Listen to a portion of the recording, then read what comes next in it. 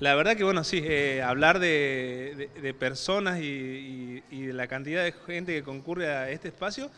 eh, nos tenemos que referir a un gran número de, abuelos y que vienen de acá de, todo, de toda la barriada, como también bueno de la zona del, del- del- del- de alejadas, digamos, así que con esta cuestión de que tenemos colectivos y transporte, bueno, se están acercando muchísimas personas al, al- al estadio.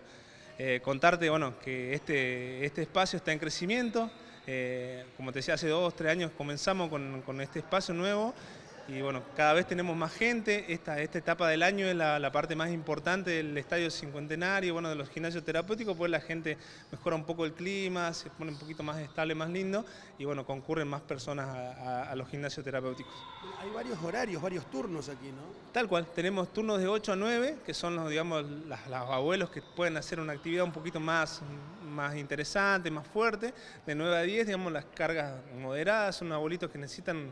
eh, estar, digamos, en silla con algunos elementos en particular, así que ellos son los abuelitos que tenemos. Y después tenemos un grupo que necesita una atención diferenciada, los personalizados, que bueno, ellos ya son patologías más complejas y que bueno, requieren de una atención, digamos,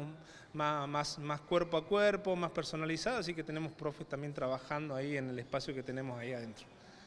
Aquí en el estadio. Tal cual, todo acá en el estadio. Bueno, hoy particularmente, bueno, estamos en desarrollo con los Juegos Evita, eh, la instancia local del vóley, compartimos espacio, pero bueno,